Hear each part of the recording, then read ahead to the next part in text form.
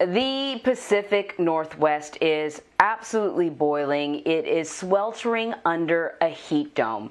So we want to bring in Jeff Berardelli, uh, our CBS News meteorologist, to talk a little bit more about what's going on in uh, the Northwest, these unprecedented temperatures. And I know, like, you know, in the news we tend to throw around unprecedented a lot. Um, but can you give us a sense of just how out of the ordinary these temperatures are? I'm glad you asked that question because I said the exact same thing last night here on CBSN that, you know, we throw around unprecedented, but this is otherworldly. I mean, we've never seen anything like this in the Pacific Northwest, shattering all time records by several, if not more, degrees. So let me show you some of those temperatures. Uh, you know, and meteorologists saw this a week ago. We saw this on our computer maps and we were thinking, is this even possible? Well, it's possible, and it's exactly what happened. So let me show you. Uh, Portland, 116 degrees. That is a new all-time record. The old all-time record, not for the date, not for the month, but for all year, going back, you know, a century or so, uh, is 107. So we shattered that by nine degrees. Seattle broke its all-time record by around five degrees, just to give you an idea. Canada hit 117. Their old all-time national record was 113 degrees. So talk about unprecedented. This is a step above that language, if you will, uh, because you know to break an all-time record by one or two degrees is incredibly impressive. To do it by all these degrees is virtually impossible in a normal natural world. But this world is now unnatural. It's not normal because we have warmed it through climate change. So this is the heat dome you were just talking about.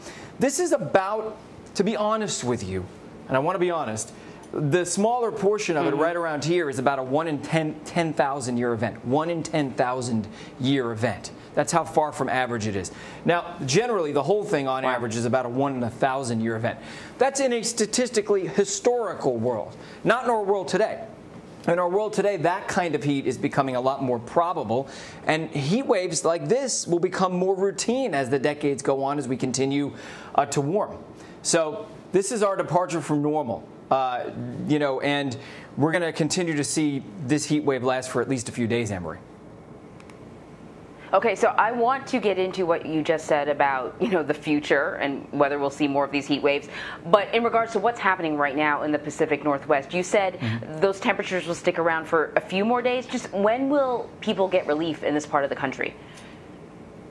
So it depends on where you are. So along the coast and, and, from the Cascades westward, we're getting a little cooling influence right there. So you can see Portland today is going to be 95 and Seattle's 94. This is mm. still extremely hot for these cities, but it's going to be 20 degrees less yeah. today in Portland than it was yesterday. 20 degrees less, and still they, they are in a historic heat wave.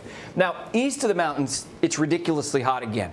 Pasco, which is Washington, 119. If they do get to 119, that would break an all-time record high for the state of Washington. We tied it yesterday. We could break it uh, today. Now, as we head into Wednesday, notice these temperatures come down a notch, but it's still no picnic. It's still 112 degrees in places like Spokane. And in this area, Idaho, Washington, Oregon, away from the coast again, uh, and Montana, it's going to stay hot through July 4th, to be honest with you, although not quite as hot. So the heat wave will get a little more bearable but it'll still be very hot out there. So we're going to see a little bit of relief. Along the coast, it's going to be much better, but inland, it's going to remain this way for several days.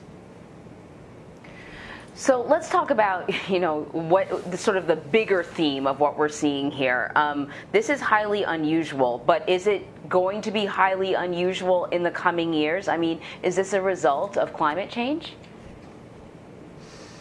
Yeah, so uh, we have a natural pattern across the nation uh, and across the world right now, which is causing these extremes. We have a heat wave in the east. Obviously, it's not nearly as bad as the Pacific Northwest. But then you have climate change. Now, if you look, summer temperatures have warmed. There's the scale right there, two to four degrees across the west, especially the southwest, but even the Pacific Northwest seeing a lot of warming. So when you take a heat wave and you put it on top of two to four degrees of warming, it's obviously going to be an extreme heat wave. But it's not an increase of two to four degrees. Mathematically, that's not the way it works. So the averages go up two, three, four degrees.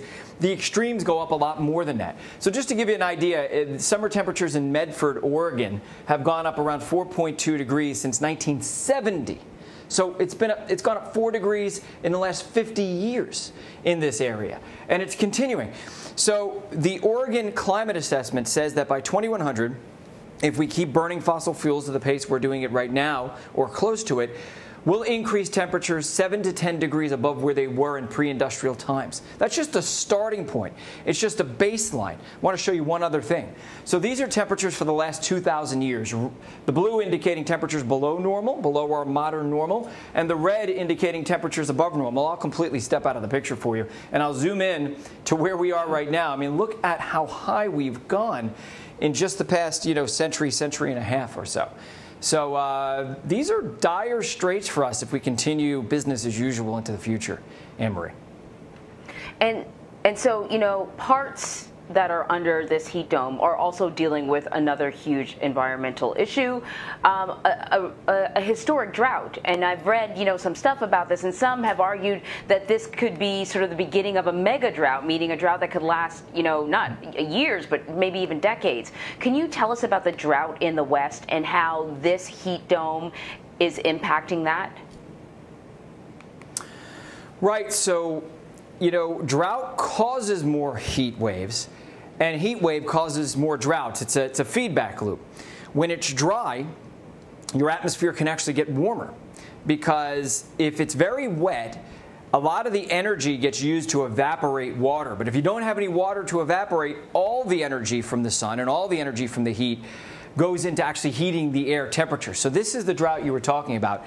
We are at, at the beginning of another mega drought. And by the way, it's the worst 22 year drought period that we've ever seen over the past 1,200 years. We know that from the tree ring record uh, across the West. In fact, I just did a story in California. I met the scientist who's doing the study. So our drought started in uh, 2000, the year 2000. It's been 22 years. If you look at 22 year periods for the past 1,200 years, this is the worst drought in the history of the West that we've experienced.